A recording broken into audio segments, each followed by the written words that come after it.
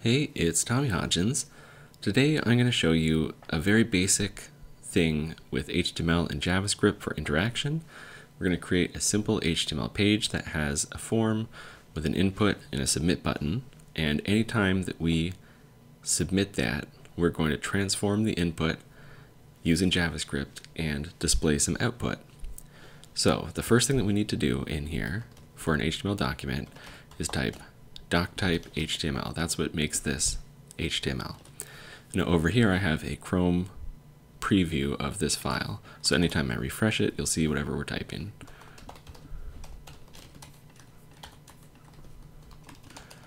I'm also going to say that the character set is UTF-8, even though I don't know if we'll use any special characters. And the other thing that we need to make it a valid HTML document is a title. So I'm going to say input demo. So in here I described we were going to have a form. And in the form we're going to have an input. And we're going to have a submit button. So that's what that looks like, a form with an input and a submit button. Now, we're also going to put JavaScript in here. So I'm going to do script type equals module so that we're working with modern JavaScript. And I'm going to say when the form is submitted by this button. So we're going to listen to the submit event on the form. So to select the form, I'm going to say document query selector form. Now this is going to match the first form in our document, which is this one. I'm going to say add event listener, submit,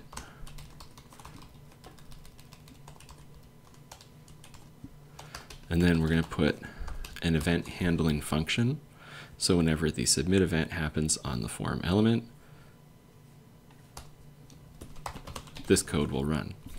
So the last thing I'm going to do here is we wanted to transform the output and put it somewhere that we can see it. So there is an output element exactly for that. So when the form is submitted, what will happen? Will it reload the page? Probably. So let's say event prevent default, which just says cancel whatever the default behavior of this event is. And what we want to do is work with this input. So first, let's see if we can select this element. We're going to grab its value, but let's see if we can do it. So I'm going to do console log event target, which refers to the element. If this is the event, the event target is the thing that had the event, which is the form.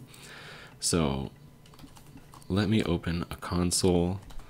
We'll do this. And when you submit, we see the event target is that. So if I say query selector for the first input inside the form, it'll show us this. So that is that. So if we do value and say hello, oops, I should reload, uh, hello, then we see the value here. So what we want to do is we want to write to the output based on transforming this. So let's say that this is going to be a number. Let's say that something is going to be required. So if you try to submit an empty form, it'll say you need something. So we can put 2 in, we can put whatever you want.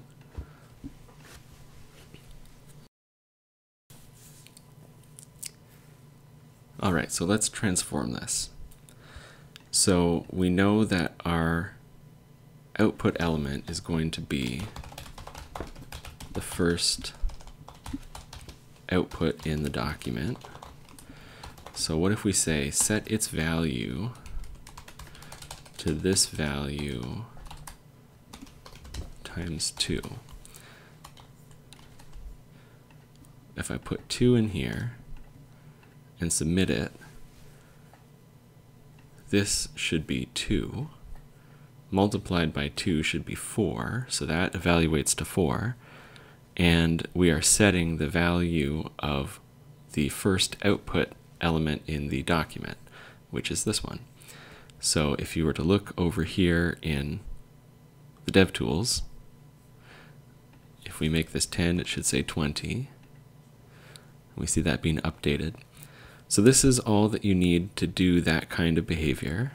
Um, just to recap what we've done here, this is a text file into which we wrote doctype HTML so that the browser knows this is HTML.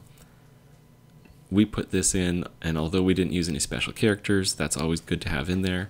Technically, we did not need that. Um, you do need a title for an HTML element. Uh, we added JavaScript to change the default behavior of submitting this form from reloading the page and submitting the form data into doing something with JavaScript. The HTML on the page was a form with an input. We said that you needed something, it was required, you couldn't submit it if it's empty. We said the type of the input was a number, and uh, we never used the name, but it's always a good idea to have a name. We also had a submit button, and we had an output element to display the output. Now, when this form was submitted, we prevented the default behavior. We were able to do this because we selected the form in JavaScript and then did add event listener to listen to the submit event. We have an event handling function, and the first thing it does is prevent the default behavior. Then the second thing it does is it selects the first output element in the document and assigns its value to be the first input element inside our forms value multiplied by 2. So no matter what we enter into this number input, whenever we submit it, the output is going to be double that. So hopefully that makes sense and shows you how these pieces come together, um, what you need in the document to make it good HTML, um, a simple way to structure the form with the two uh, inputs inside of it, uh, the ability to use the HTML output element for exactly this type of computation, and then in JavaScript showing you how to get a reference to that element, uh, add an event listener for a specific event with a function that handles that event, and then how to do our custom behavior. Uh, hope you're having a great day and catch you in the next video.